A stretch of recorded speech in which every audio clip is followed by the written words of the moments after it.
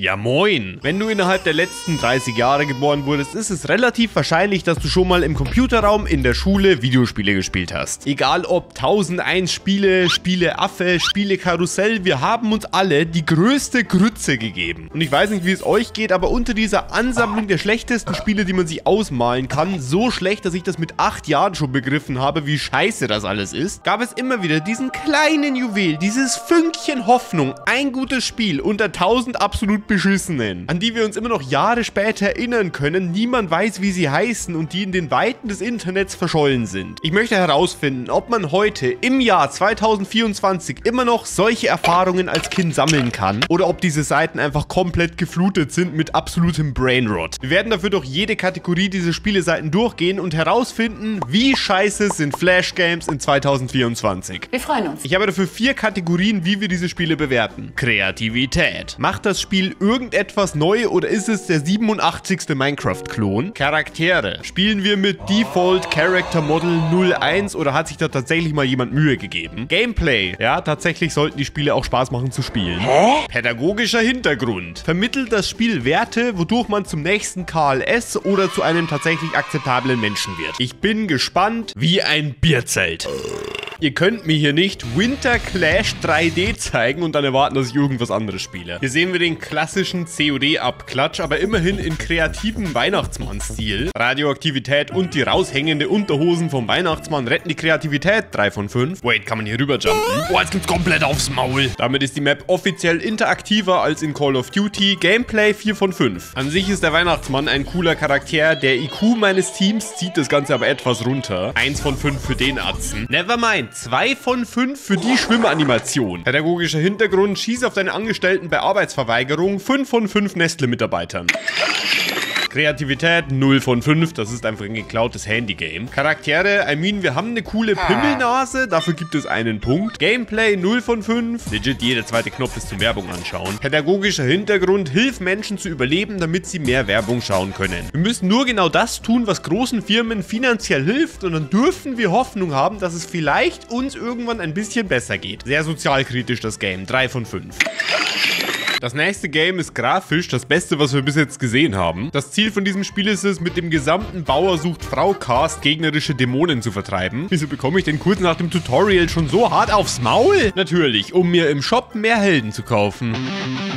Der wie vorstellen, das ist die Angela. Ihre Freunde nennen sie aber Handbrems. Wisst schon, weil es immer so gut anzogen ist. Okay, lassen wir das. Kreativität gibt es hier nur vom Design. Das Spielprinzip ist bekannt. 2 von 5. Emo 5 geben bei die Charaktere. Schaut einmal die Angela an. Der Joe ist auch schon komplett am Abzappeln, wenn die auch gestampft kommt. Gameplay, ja, 2 von 5. Pädagogischer Hintergrund, lieber die Spalte fetten, als von der Fetten gespaltet werden. Um, excuse me, what the actual fuck?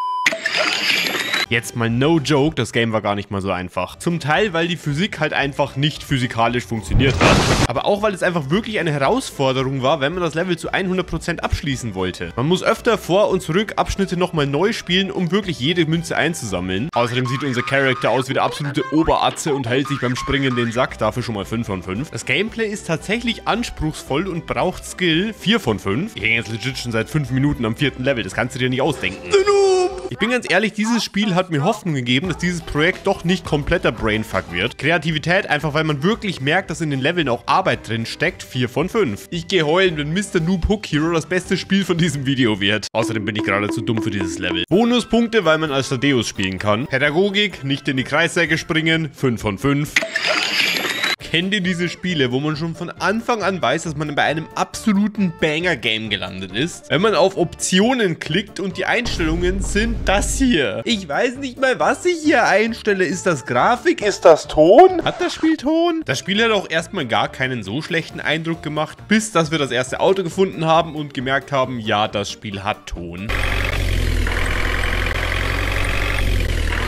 Junge, du klingst beim Schalten wie ein getunter Rollator. Pluspunkte, wenn ich den Bagger fahren darf. Spoiler, man kann den Bagger nicht fahren. 10 Minuspunkte. Die Stunts waren dann auch eher ausbaufähig. Es gab auch keinen Grund, diese überhaupt zu tun. Es gab keine Bewertung oder überhaupt irgendetwas zu tun in diesem Game. Wait, ich habe den ersten Menschen gefunden. Die gute Dame sitzt auch einfach hier drinnen, egal ob wir mitfahren oder nicht. Immerhin kann man falsch blinken. 4 von 5 BMW-Fahrern. Damit bekommt das Game insgesamt 13 von 20 in meiner bauchi-gefühli-Bewertungsskala Tralala, keine Ahnung. Und da ich alleine die Jury bin, darf ich das auch. Edgy Badge.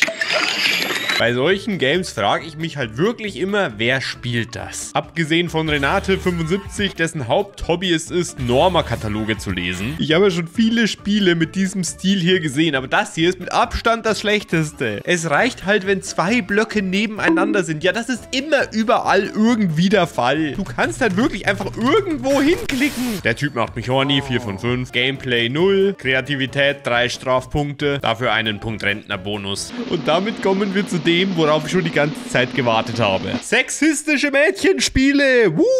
Ja!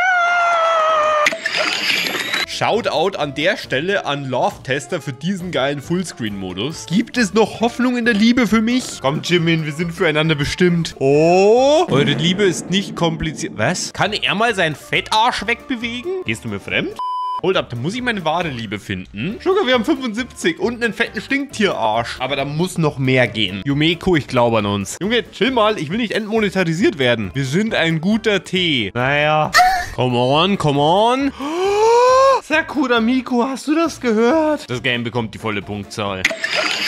Choose a horse and rider. Wir erlösen mal den Tango von seinem Pilzbefall. Kelly, du siehst aus, als könntest du gut reiten. Ab ins Outfit, als würden wir auf dem Strich arbeiten und das gilt auch fürs Pferd. Awesome, I love my outfit and can't wait to ride my horse. Mädel, du hast das komplett falsche Outfit an. Hä, und das, das ist jetzt einfach das Game, oder was? Play again. Jazz, Darling, ich gebe dir jetzt nochmal das gleiche Outfit. Junge, das Game ist, funktioniert überhaupt nicht. Das ist auf jeder Hinsicht komplett scheiße. Einen Punkt für Chica als Charakter. Die Pädagogik dahinter ist, es geht eigentlich gar nicht darum, welche Klamotten wir tragen und welche wir uns leisten können. Es geht darum, ob dein Pferd in Kübel scheißen kann. Die Angela ist wieder da. Die mähen wir jetzt erst einmal ordentlich aufbrezeln. Das sieht maximal scheiße aus, das nehmen wir. Hey, und das war's jetzt schon wieder. Ja, Mädchenspiele sind noch deutlich schlimmer, als wir alle dachten. 5 von 5 Punkten für die nackerte Rosie. Nee, jetzt wirklich, wie soll ich denn hier irgendwas bewerten? Keine Ahnung, die Pädagogik ist, Angelas sind per se besser, wenn sie fetter sind. Keine Ahnung. Hä? Dafür ging es beim nächsten Game richtig ab. Es gab schon viele Versuche, Minecraft zu einem Shooter zu machen, aber das hier ist der mit Abstand beschissenste. Angeblich ist das Ganze ein Multiplayer-Game, allerdings fliegen die Gegenspieler so durch die Gegend, dass ich einfach nicht annehmen kann, dass das tatsächliche Menschen sind und nicht einfach Bots. Positiv muss man anmerken, dass die Map aber tatsächlich ganz kreativ gestaltet ist, auch viel senkrecht. Außerdem wurden die Blöcke nicht einfach eins zu eins aus Minecraft übernommen, heißt hier ist sogar etwas Arbeit reingeflossen. Das Gameplay ist aber leider immer noch komplett scheiße. Da vorne war ein Spieler, den holen wir uns. Ja moin, was machst du hier? Aufs Maul gibst du Dominus. Zwei extra Punkte für den Mut, diese Schienentextur tatsächlich ins Game zu übernehmen. Man bekommt halt nicht mal mit, wann man stirbt. Man ist einfach plötzlich im You-Died-Screen und dann hängt sich das ganze Game auf. 5 von 5 Makaronis. Das Spiel ist auf Englisch. Ich würde es gerne auf Deutsch einstellen. Wenn ich jetzt aber versuche, hier runter zu scrollen, passiert er hier. Man kann auch das Ding hier an der Seite nicht bewegen. So, was soll ich denn tun? Gutes Game Design. Man kann nicht als Nordkorea spielen. Drei Minuspunkte. Excuse me? Wenn man das Game startet, hat das Turnier eigentlich noch gar nicht angefangen, aber die Ukraine hat sich schon qualifiziert. Pädagogik irgendwas zwischen 0 und 10, je nachdem wie ihr das findet. Alter, keine Ahnung.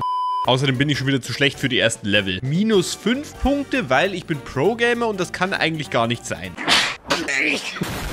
Also Jokes aside, das Gameplay war gar nicht so scheiße, wenn man tatsächlich wieder versucht, alle Sterne einzusammeln. Und mit ganz gut meine ich 2 von 5. Bei Kreativität ist halt jetzt die Frage, wie kreativ werten wir das, dass bei Deutschland gegen Ukraine wir Flaggen von Brasilien aufhängen. Schon irgendwie auch eine kreative Aktion. Drei Punkte. Alter, wenn ich jetzt noch einmal auf dieses scheiß Tor oben drauf schieße, ne, Alter, dann fliegt hier was.